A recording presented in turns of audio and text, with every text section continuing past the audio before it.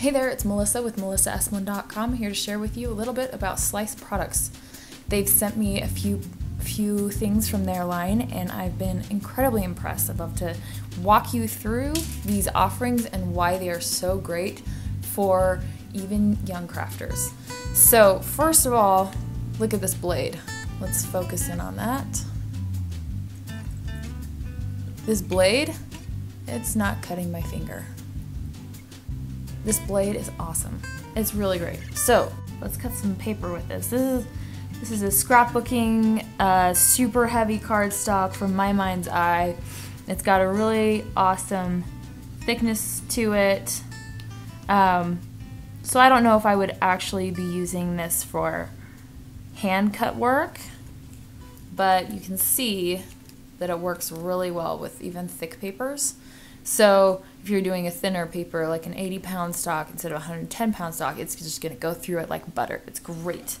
Um, this is a one ounce bookbinding leather, and so it's it's pretty thin. It's not super thick, and it does just fine as you can see right here. I have to press a little bit harder. You can see like my hands kind of my knuckles are turning a little white, but it does just fine. Oh, I missed that. There we go. See, came out. This is a great tool. The holder feels really nice. It's got good weight.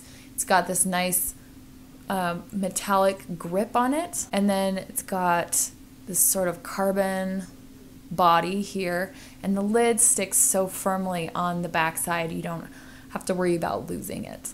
So again, I'm a huge fan it's just a really great product and it's safe for you to use and not slice up your hand. So, anyway, I hope you enjoy these products. Check out the links in the comments if you want to purchase. It cuts in just a second, but then you have these scissors. These are ceramic scissors. They um, you can take them on an airplane because they're blunt tip and the scissors are shorter than four inches here. Uh, they are ambidextrous, so you can be a lefty and cut well with these too. Um, I love these because I, my kids are always stealing my scissors, and I don't want them getting stabbed by my evil death scissors. I want them to use these. They're great, they're super sharp, and they're safe for my kids. They're, they're comfortable too. This rubberized interior is really nice on the fingers and it just i mean you can hear that. They just even sound sharp. So let's walk through and see what we can cut with these guys. Here i've got a range of different materials. Got a thick letterpress paper. I've got ribbon metal and this is a thin sheet metal. Leather and this is a one ounce leather. It's a very thin uh, bookbinding weight leather. And then knit fabric because knit fabric is among the hardest fabric to cut simply because it's so flexible.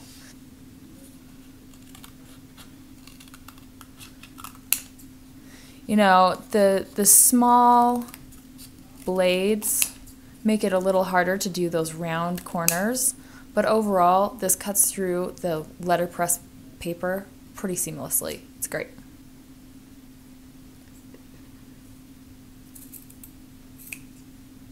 This is totally fine. Cuts through it pretty well. It's cutting through this metal like it's no big deal, is awesome. Now, leather, I struggled with it because leather has some similar qualities to skin. It's just basically dried out skin. So this, these the scissors struggle more with leather than they do with anything else. So I have to take short, shorter bites out of the leather um, than if I were using my Ginghers or, you know, leather cutting specific scissors. And then it cut through just fine with the uh, knit fabric. Um, overall, one, it's safe. It's safe for your kids to use. Two, it's ambidextrous. And three, it cuts through paper really well. So I would personally recommend this to any young paper crafter hands down, it's awesome. So I hope you give these a try. They're fantastic. See the link in the comments uh, on where to purchase these.